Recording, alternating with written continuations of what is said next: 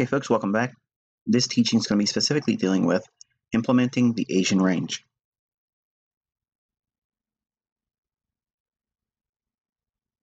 All right, the Asian range. Notice it does not say ICT Asian range. I did not create this or author this concept. Um, my first introduction to it was from another trader, which I'll mention later on in the presentation. But what ICT concepts are going to be used in this module? We're going to be introducing the Asian range. We're going to be defining what the Asian range is in charts. And we're going to teach you how to utilize it in bullish conditions and how to utilize it in bearish conditions. All right, introducing the Asian range. Now, what is the Asian range? Well, the price action prior to the Frankfurt Open or London opening can be very indicative of the future intraday price movement.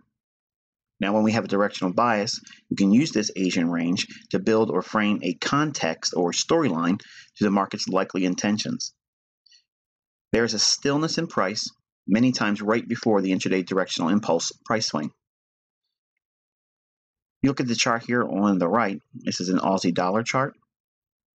You can see that there is a little shaded area right in here, and it's delineated with the gray shaded box, and I've labeled it, not surprisingly, the Asian range.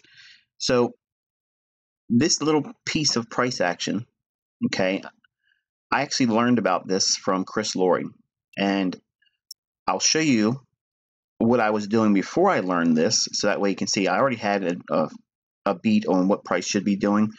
But when I first saw him refer to it in his free teachings, he has a uh, website chrislori.com. Uh, it's changed and morphed a little bit over time, but uh, folks that have gone through his material that know who I'm referring to, uh, they would nod in agreement that they would know what I'm saying is true. Uh, he taught about the Asian range many times in free teachings. So it's not like I'm taking anything away from him. Uh, in fact, uh, if you're not happy with what you see in my content, but you do want to take some advice from someone that has seen a lot of things out there, Chris Lori has a lot of uh, good price action study, and his methods, while they are not mine, uh, there's some similarities to what Chris does, but I'm going to show you what I took away from him. This is the only thing I really learned from Chris Lori, really. Uh, but and, and that's not to diminish his importance as a teacher or what he knows. I'm just saying that this is what I gleaned from his material. Uh, I liked it because I was already familiar with using consolidations in certain periods of a uh, trading 24 hour period, if you take certain ranges, you can do some really magical things with them. And I teach you that in the mentorship, and it goes well beyond what I've done in YouTube videos over the past couple of years. So, what I liked about it was I seen a lot of context right away when I seen how the, the range is applied to the chart. So, I will give you what I used to do and how I used entry techniques to do it. So that way you have a little bit of a uh, a takeaway, not only just talking about the range itself, but what we can do with it. And then I'll show you what I've done with it to uh, incorporate it. Now, I'm not teaching you everything I know about this range and what I've done with it over the last mm, 10 years or so. The, uh, the implementation of it, I think, is useful for a developing trader, but there has to be some context behind it the range itself doesn't produce anything magical. But if you have a storyline behind what price should be doing that particular day, it is unbelievably helpful. Okay, so let's define the Asian range. What, what is it that we can do in our charts to make it appear and draw our attention to it? Well, the range begins at 7 p.m. New York time and it ends at midnight New York time. Now, as a special uh, inclusion here. Chris Lori had his Asian range pushed beyond midnight. And if my if memory serves me correct, I believe he had 12:30 a.m. And to me, the financial markets really begin at midnight New York time, and it probably sounds pretty arrogant of a yank like me, being in the states. But uh, if you just study what I'm teaching you, folks, you'll see right away what I'm telling you is the gospel uh, as it relates to intraday price action only. Now, everything else might be something different, but as far as intraday price action, I think I've cornered the market in intraday price action.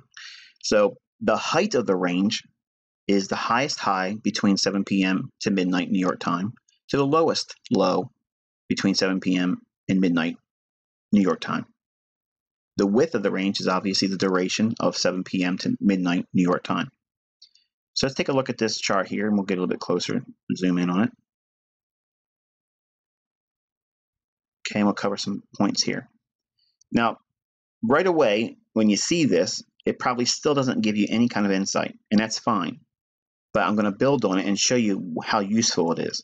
But we're going to build the model with specific buy and sell conditions later on in this video. But for now, take a look at what you see here, okay, and kind of like burn this in your mind.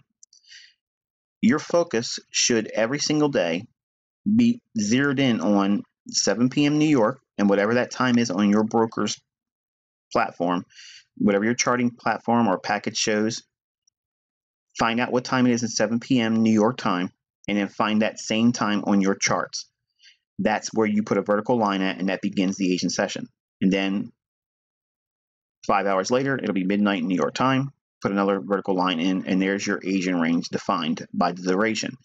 The highest high and the lowest low is what we would use to frame out the range. Now, there's a lot of voodoo that you can do with this range, okay? And again, I'm not teaching you here, but believe me, it can take you to the highest and the lowest pip of the day. There's some things you have to incorporate in that, and I teach that in the mentorship. But for now, I'm going to teach you a very simple approach to how to use this and when you can filter out trades and not do anything that may end up taking a loss if you do otherwise. So let's take a closer look and remove all of the benefit of seeing the price action there.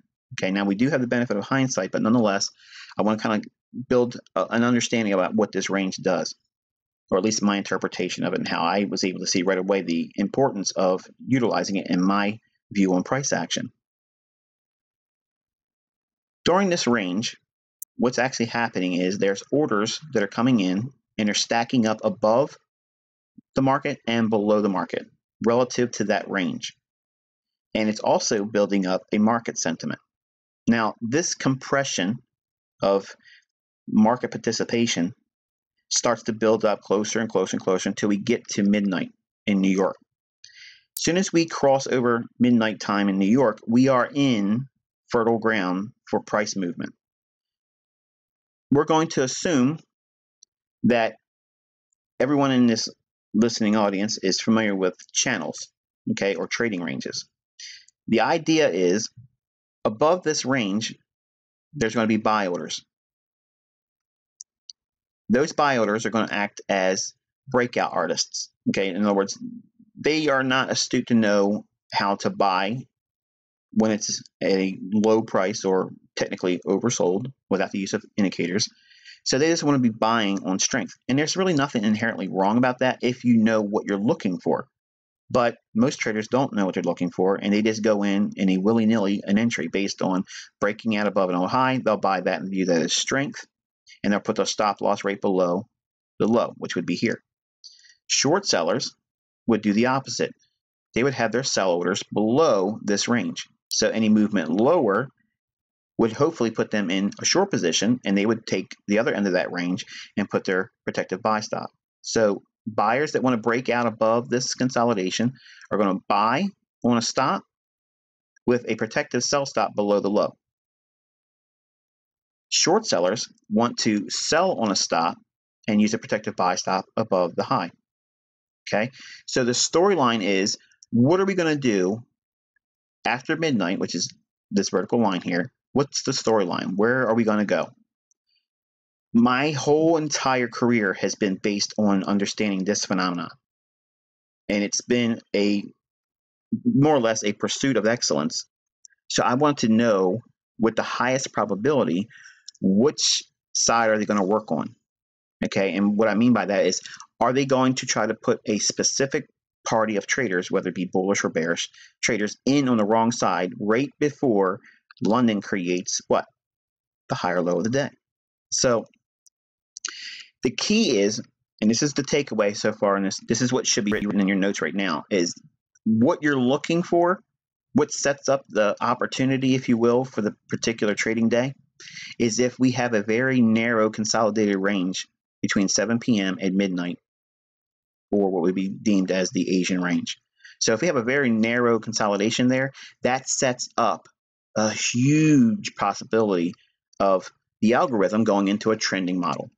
Okay, so in other words, without going into IPTA and teaching anything really about that, the market will seek the liquidity above or below this range with a premise that it's going to put them in the wrong side and then it'll go the other way for the remainder of the trading day.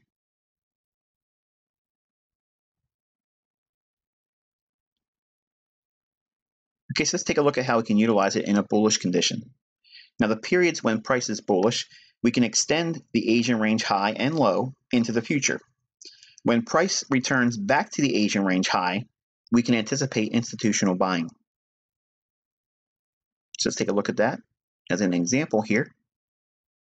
We're going to assume that we had an understanding or expectation, if you will, that the Aussie dollar was bullish for this particular day. Now, if you want to know what would lend well to coming to that conclusion of being bullish, if you look at the daily chart, you'll see that there was a reason for the Aussie dollar to reach up to a equal high.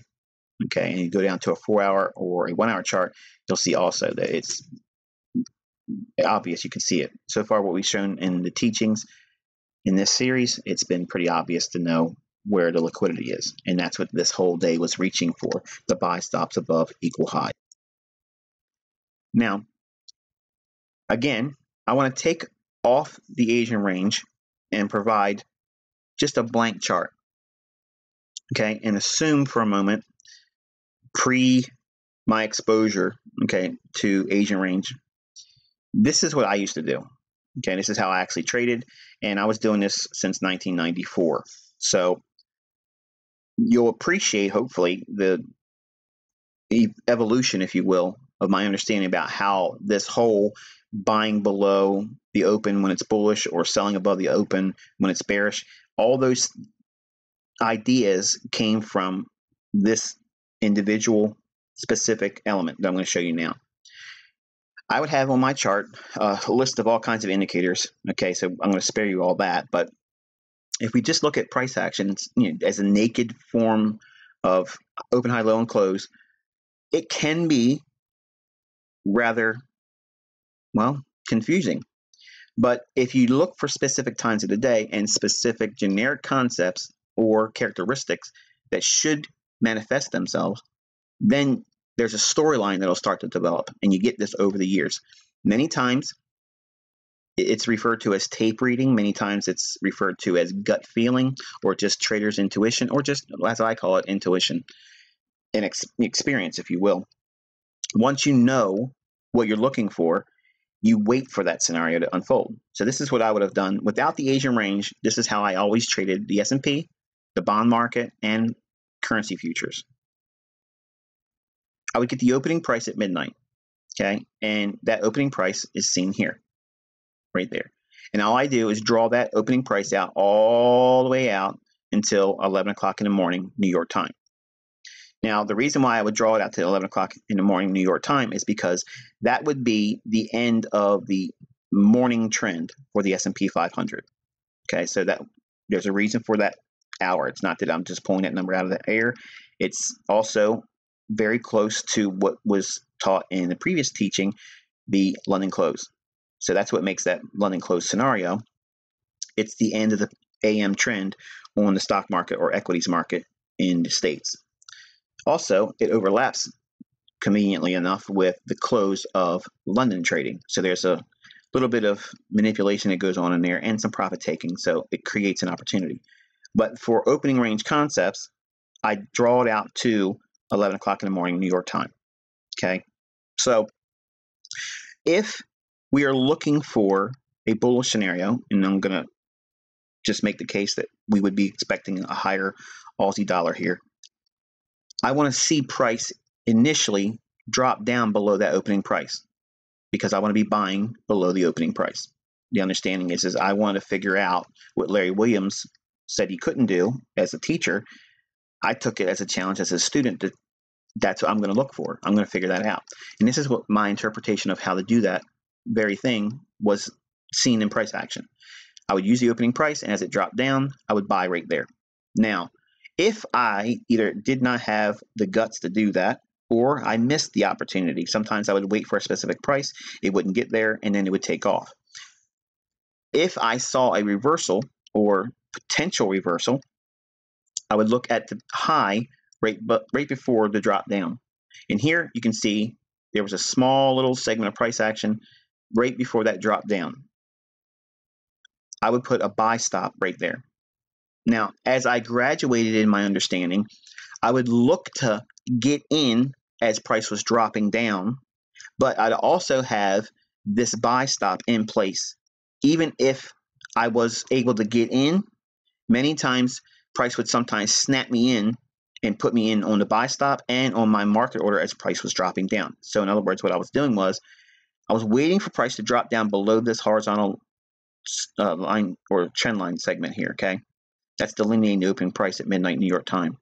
The drop down below that, I'm hopefully trying to buy that. Now, as it starts to drop, my eye goes right here because now we're below the opening price. It may go lower and give me my ultimate price of entry, but it may not.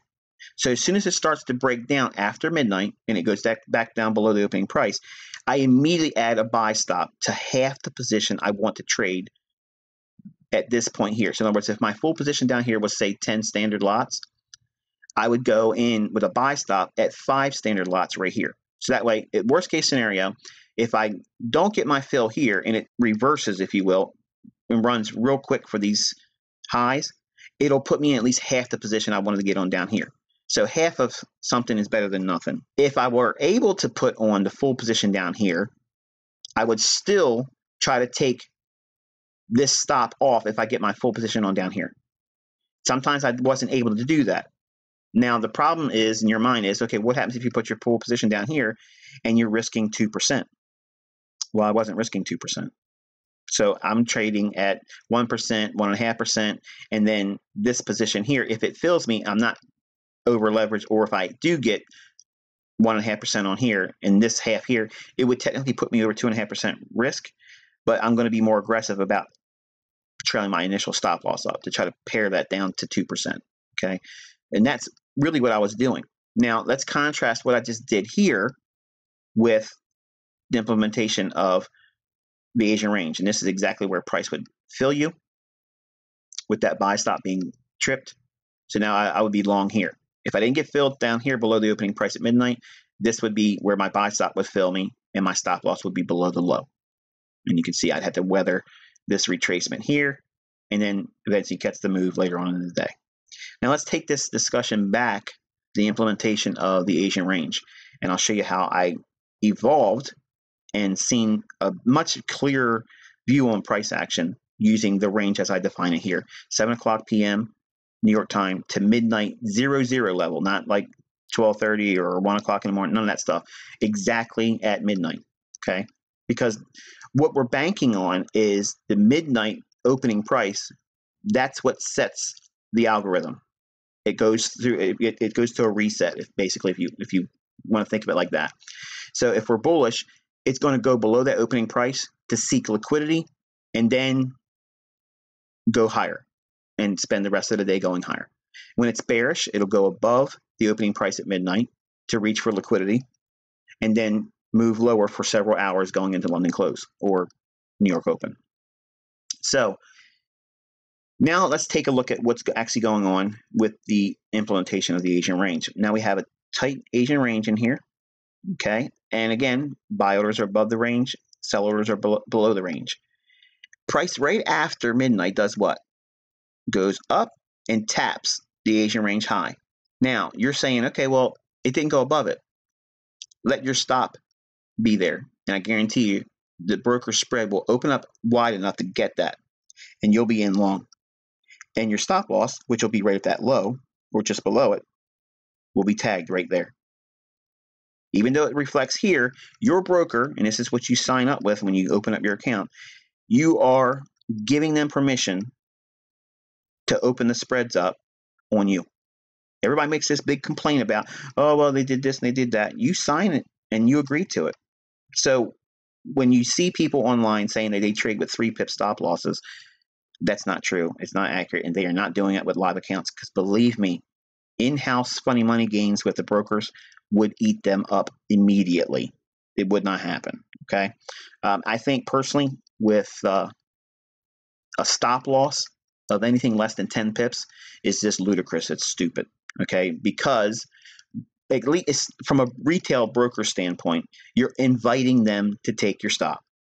It's just the way it is. You can argue with me and give me all kinds of track history and say, well, I'm trading with a five pip stop here and there. That's fine. Do it 10 years and see how many times you get burned. The point is, why offer yourself up on the altar for that sacrifice when there's better ways of doing it? You don't have to have less than 10 pip stop losses to do very well. We have an Asian range in here with the understanding, or in this model, we're going to expect bullishness. Okay. And price starts to go up initially and comes back down and breaks the Asian range down here. So we take out the low on the Asian range that's been extended beyond midnight. That trips in sellers and it also knocks out individuals that would have been pulled in on a buy stop right at this level. So long holders are in and now they're out. Short holders are in now and their stop loss is above here or here. So they're taking both sides of the marketplace in and out, and then the market takes off, goes higher. What we look for is this little movement right here. That movement is what sets the tone when we're bullish. We want to be buying there. Or we can do what I showed earlier. You can put a buy stop right here. If it gets filled, a contingent order that would be if I'm filled with your broker, order cancel order basically. Um, if we have a parent contingent order suggesting they could buy on a stop, if that stop gets filled, if it happens, then we would place a sell stop below this low at some specific price level. And you could leave that in the marketplace and go to sleep and don't even worry about watching all this stuff. Okay, there's one way you can uh, apply a day trader's model and or enter with a long-term model, but using a day trader's approach to trading that whole entry. If you've missed this one, okay, and price starts to rally away, we have to have the storyline behind this example of being bullish. Otherwise, this could be an easy sell, as you'll see when we talk about when the conditions are bearish. But knowing where the market is most likely trying to go from a higher time frame standpoint is significant and crucial in utilization of the Asian range. Otherwise, you're just going to do things that aren't going to be profitable. So, if we're bullish, we we'd like to see this element here, and then this here. No problem. We don't need to get that, and we don't need to be a part of this move here. Okay, we'll wait for price to come back down and touch the Asian range high. Now it does so here, but it's a little early, and then we do it again in the New York Open. So New York Open, we see price trading back to the Asian range high. Right there is where institutional buying is going to step in. Why are they doing that? Because the initial range that was set between 7 p.m. and midnight, midnight is when IPTA, the interbank price delivery algorithm, resets. And then it, it attacks open liquidity or the open float, which would be the orders above the Asian range and below the Asian range. I already know you're going to know 15 different people that work at a bank or they know somebody they smoke cigars with on the weekends and they are a market maker. They're going to say, What I just said to you is nonsense. But I'm telling you, they don't know what they're talking about because I'm doing this daily to the pip, week after week, day after day. And I'm telling you, it's not based on anything else except for what I learned. Okay. And some of the things are going to go in the category of tinfoil hat and I'll just let you wrestle with that. I don't really care about your opinion. Just know that what I'm suggesting to you here, if you look at it in price action, it's there.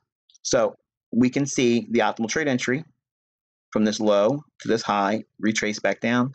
New York open overlap with the Asian range high. With the storyline is that we're bullish on the higher time frame. Beautiful illustration of a Asian range application in bullish conditions, and then off to the races we go. So we have two opportunities in here in the New York Open, and we have one set up here that gives us a really, really low end um, entry point with very little risk in terms of our entry and then the subsequent move higher. The other portion would be entering on a stop here above the Asian range, but you wait. You have to sit up and you have to wait for price to drop down below the Asian range. Then you buy on a break above the Asian range high. But the conditions have to be bullish and we have to first see Asian range low break. Then a buy stop can be placed at the Asian range high. If you do this before the Asian range low is taken, you will get burned. You will get stopped out. You will send me email saying it doesn't work. okay. I'm telling you, there's rules here, and I just gave them to you. Rewind the video and re- listen to it again. It's very clear.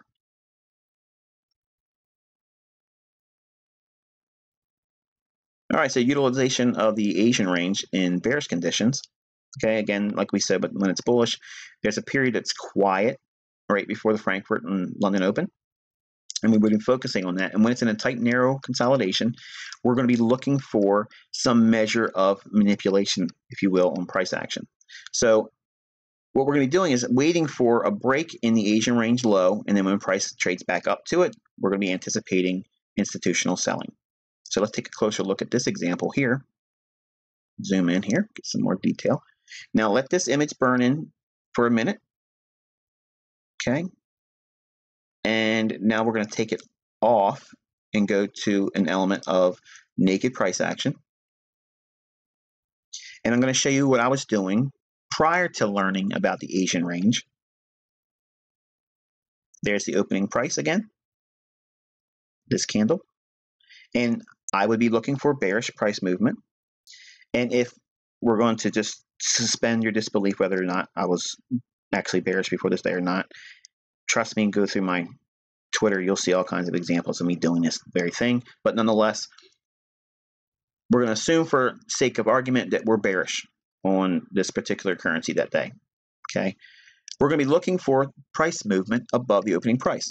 That's what I'm looking for here. Okay. Now, I learned early on that these levels, these double tops, they were fake outs. And that's why I loved the turtle soup trading pattern that I learned in a book called Street Smarts. And if you don't have it, you should buy it. It's a very, very good book. But that pattern in there resonated with me because I was already doing things similar to that. And I would just look for those equal highs and equal lows, which I've already taught you in this series. And right away, there's a large number of you in our community that are just going through the roof right now with excitement because now you see something that's always been there, but now you see it and it's useful to you. You can see where price is drawn to. Well, if we see this time of day, and this is midnight, and we're bearish, we have equal highs in here. Right away, I want to know there's going to be a rally above the opening price. And I extend that out in time, about 11 o'clock in the morning, New York time.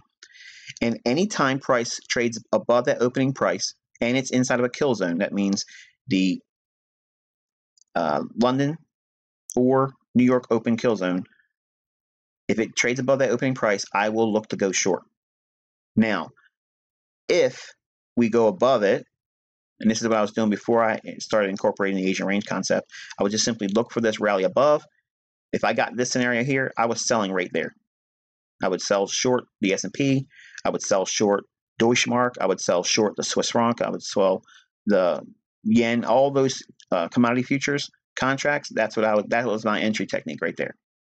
And then I would go to sleep and wake up around five o'clock in the morning. Hopefully, I'd get some profit, and I would take something off. Trail my stop loss really, really tight. Sometimes get stopped out. Other times it would carry right on over into Globex into open outcry in the pits, and then I would catch some more follow through in the day session hours in the New York session. But if that's my entry point there, just like anybody else, life may get in the way. Uh, I may get sick. Um, my kids may be complaining about growing pains, and I can't be in front of my charts. You know, this happens. You know, I'm a dad. I'm I'm a husband. I own two. I'm a, I'm a pet parent. I own two boxers, and anything can happen. Okay, to distract me from actually getting in where I want to get in at. I don't always use limit orders. Uh, there are certain conditions where I want to use a limit order, um, but mainly I want to be executing right when the market's happening to be trading against my directional uh, bias for the day. I don't mind market orders. The folks that say you shouldn't be using market orders, you know, they should be using limit orders. Um, again, that goes along with not knowing what I do. I'm actually trading aggressively right as the market's screaming higher.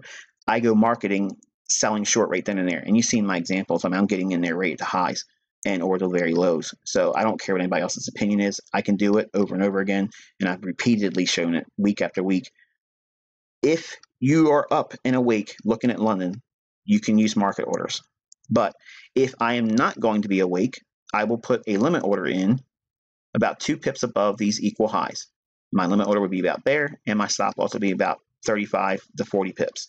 And I would go to sleep and be comfortable with that. Okay.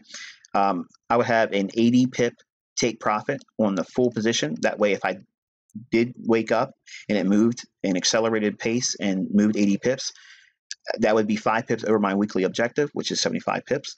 Um, I am always aiming for 50 75 pips only for a weekly objective. Once I do that, I'm done trading. I don't do anything else. But I leave myself the opportunity to catch a tiger by the tail. If I wake up and the market's already moved 80 pips, I'm done for the week. And I didn't do anything but sleep in the whole process.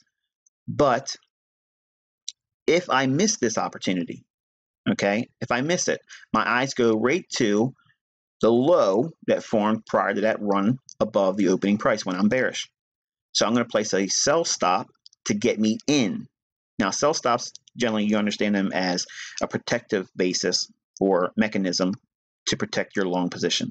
If there is no long position and you place a sell stop, it's going to put you in short. And that's what I'd be expecting to see happen here. So when price drops down, I could be short there, and my stop loss would be above the high of the day. So let's assume for a moment that I missed this opportunity here, and I just can't stay up. Something happens, you know, my wife is uh, getting ready to have a baby, and this has happened. uh, I had to do, take a trade. So I, I mean, I I have to trade, folks. Okay, it is what it is. Okay, and I had to hear about it on the way to the hospital that day, but nonetheless, I, am you know this is this is real life stuff here, folks. So if I miss the opportunity to get in, okay, and and the Swiss franc is looking to go lower, I'm going to place a sell stop below the swing low, right before the rally above the opening price, with the expectation that if this order fills, it will place a protective buy stop above the high plus three pips. And then again, same scenario, I would have a take profit of 50 pips, which is the low end of my weekly objective, and that's it. I don't trail my stop. I do not trail stops. I do not have a mechanism that trails my stop loss lower because I don't think it should be done. Okay. Um, I teach taking partials is the better way to go and leave your stop loss where you initially put it. Manage the risk from taking partials and then slowly move it down after New York trading starts. Because if you're going to get a big range day, like we see here, you want to trail the stop loss after New York has done its retracement. If we take the conversation back to the utilization of the Asian range, we can see here what's actually happening is that we have a tight narrow consolidation and we're bearish. Now think, we have folks that want to buy on the breakout. They get tripped in with the move above the Asian range high here. So now what are they? They're long. Where's their stop loss going to be at? Right below that low. The market goes right down below there to take their stops. Notice it doesn't just go a little bit, it goes conveniently 10 pips below it. It's going to sweep out anybody that has a stop loss at or just below that low. And using that little tail over here, they think that they're safe. They're not. The real move is running above the Asian range high after the buyers have been put in, then taken out, driven back up again. Why? Because short sellers that were lucky enough to try to sell short at the top of this channel or trading range, they're making money here. They're not going to be allowed to be profitable. They run on their stops, which would be a buy stop run above these highs. That's where you're looking to be a seller. This is the lowest risk, high probability entry for using the Asian range. If we wait for the Asian range low to be broken and it retrades back up to it, that's the other entry point using the Asian range. So we can see there's two ways of using this range. Selling above the Asian range high when we're bearish, best scenario, especially if you have the scenario that's been outlined here. Understand the storyline. You have to have a bias on the day. And do not change gears based on all this little movement here. You have to stick to what your analysis is calling for. Higher time frame is going to go lower, so we want to be looking for the market to take out the Asian range high. If that happens, we could sell short there.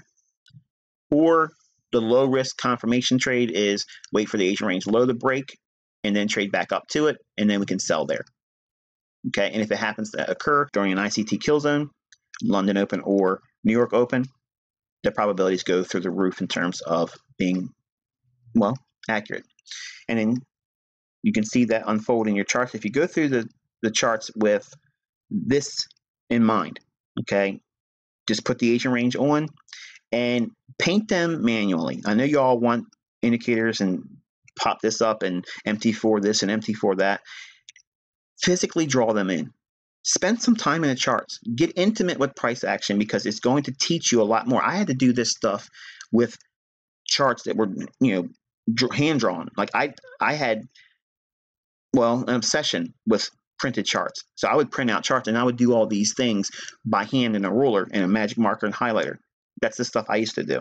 And that, and I'm convinced that's what made me good at it. Being lazy about this, okay, what you're really saying is is I don't really have time to really study it. Just give me the lipstick on the chart and then there it is. You will not get the same level of appreciation or understanding if you shortcut it. Draw the levels on as I taught. So by taking the time to draw this out manually and reminding yourself Okay, maybe even be worth taking the time to type out a notation, you know, in this uh, in this area here, to not focus on the movements below the Asian range.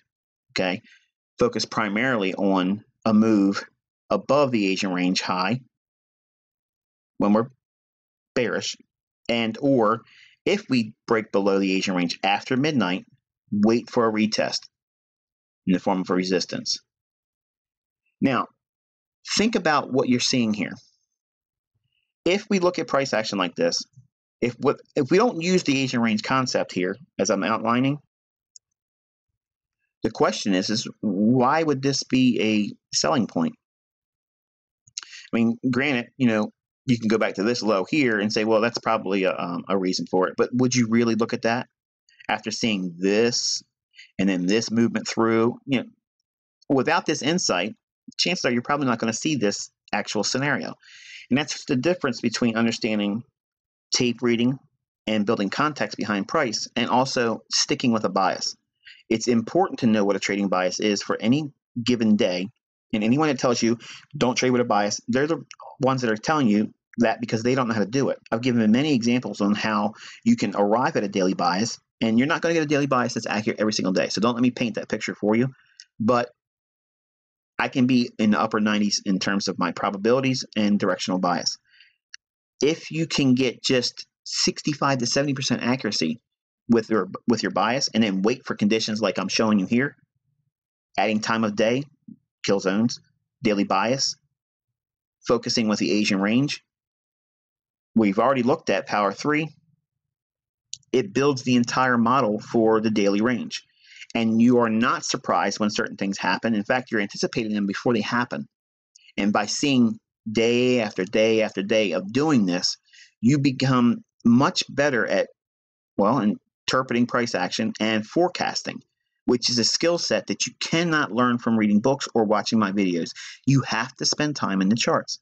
And if you do that, I promise you, you will glean more from that than anything else that you would ever study I hope you enjoyed this presentation, and if you did, you can find more at theinnercircletrader.com.